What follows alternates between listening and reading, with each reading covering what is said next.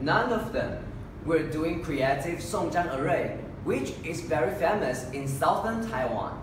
Do you want to give it a try? Well, it depends on how you persuade me. Okay, then pay attention to what is coming next. Our topic is an exploration on the relationship between Zhentou and teenagers.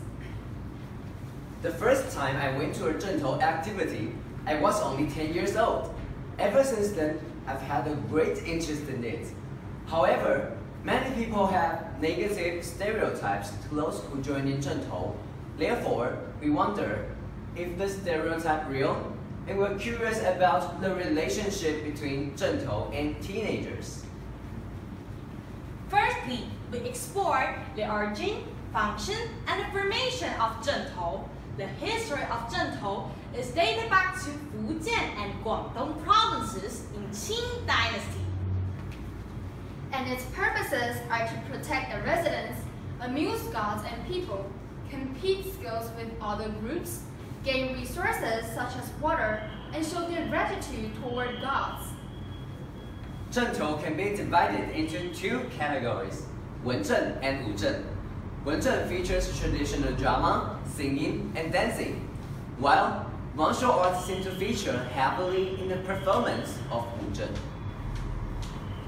In order to witness the real Zhentou, we visited Donggang Wangye worshipping ceremony and Songjiang battle array in Neimen, in which we found that teenagers combine street dance, rock music, and cheerleaders with Songjiang traditional array. With the interview, the members of Zhentou expressed that they have acquired the ability of cooperating with people and even improved social skills. Mr. Li, the leader of Neimen Neipu Songjiang Array, stated that the members' education level become higher.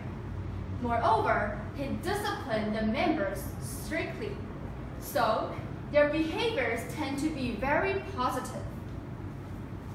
Mr. Hong, the coach of Creative Songjiang Array, confirmed that members could acquire stage experiences, make friends, and become creative. He strongly urged people not to deny the value of Zhentou with negative stereotypes. In order to unveil the subtle relationship between Zhentou and teenagers, we conducted our surveys with different groups of participants, and we discussed it from four parts. First, why teenagers are attracted to Zhentou. According to the data and analysis, the major factors are to learn folk skills, expand social network, and obtain sense of belongings. Therefore, the reasons are quite positive. Second, what are the opinions our, members of Zhentou about their own participation? The data suggests most of the members gain advantages after participation and don't consider their TV behavior serious. Third, what are the general students' opinions? The data indicate that most students hold positive impression on juvenile participants, although some still keep slight stereotypes. And the fourth, what are the public's viewpoints? The data reveal that the positive and negative results from the public are quite close to those of general students. Both of them keep minor ne negative stereotypes. Consequently, we jump into conclusion as below. Teenagers find physical and mental satisfaction after joining in Zhentou.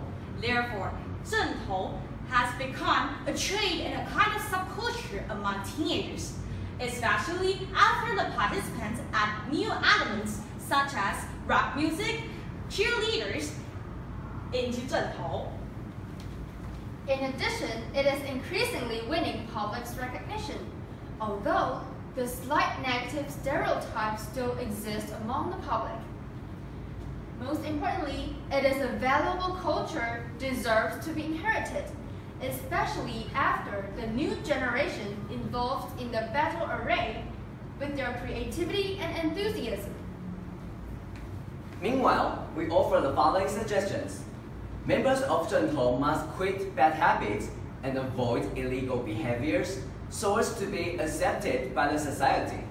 Moreover, the public may keep an open mind to accept the subculture of Zhentou. Most of all, our government may support and promote relating activities so that this valuable culture can be passed down to future generations. And these are our references.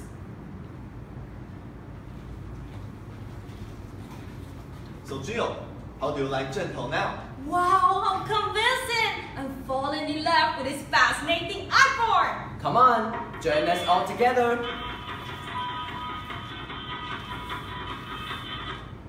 Thank you for your attention.